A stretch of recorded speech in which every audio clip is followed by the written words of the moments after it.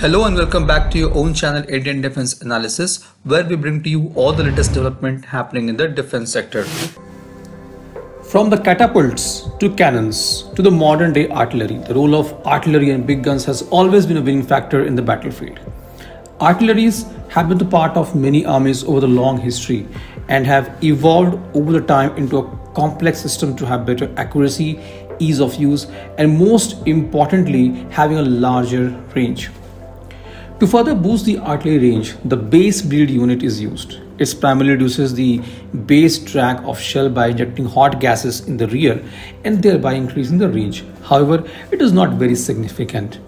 Indian Army is operating variety of artilleries with different ranges. For example, Bofors, Dhanush, and M777 light howitzers are having range of around 30 kilometers.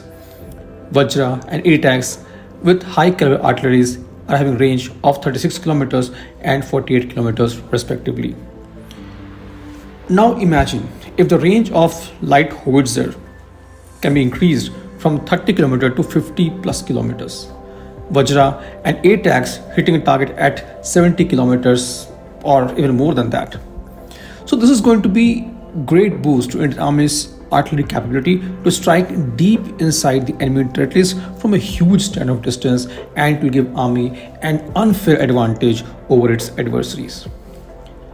So, in the lights of the same, the Department of Aerospace Engineering IIT Madras has started working on a project for long range artilleries. The project aimed to increase the range of artillery guns by more than 100% with the use of an active ramjet propulsion. Ramjet is another interesting propulsion technology as it uses engine's forward motion to compress the incoming air. However, it does not operate at speed zero and needs some external propulsion to achieve the desired speed. Even the famous BrahMos supersonic cruise missile of India uses this propulsion technology to maintain its supersonic speed. This will not only allow to increase the range of artillery, but also the altitude of artillery in the flight path. However, at long ranges, there is also need of precision guidance as with increased range, the dispersion of shell also increases.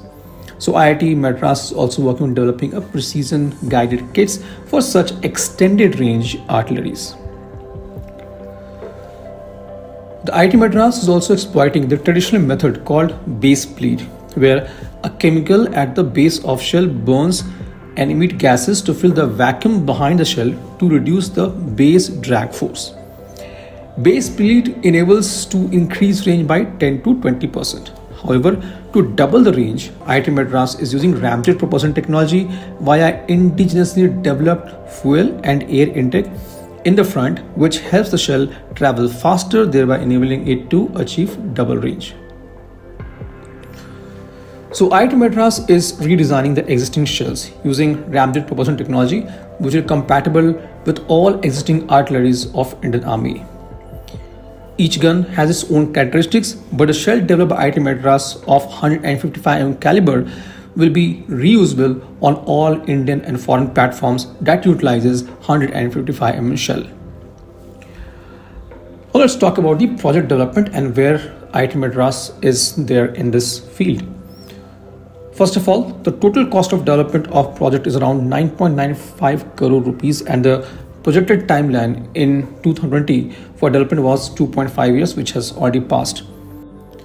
Now recently the Lieutenant General P.R. Shankar, who has retired as Director General of Artillery in October 2016 and at present is Professor in Aerospace Department of IIT Madras, the same department who is developing the ramjet artillery, has said that the ramjet technology for artillery has been developed.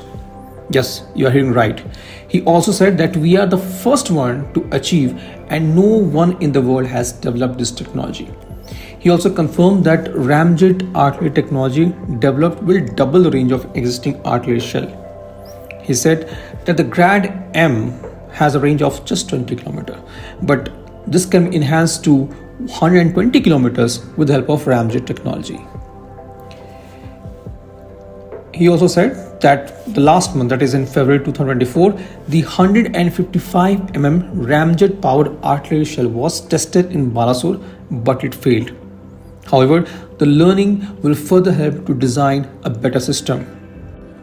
However, six months back, the half scale model of the ramjet powered artillery, that is 76 mm artillery shell, has been tested in the School of Artillery, Deolali. So, looking at its development progress, we can definitely say that significant progress has been made in this direction. The ramjet technology has been established successfully, and now it's a matter of upscaling it to 155mm artillery shell, which we'll witness very soon. This was today's update. Please let us know your views on this in comment section. If you like the video, do not forget to like, share and subscribe. With this, I would like to say goodbye and Jai Hind. We'll soon back with more interesting and amazing development happening in the defense sector.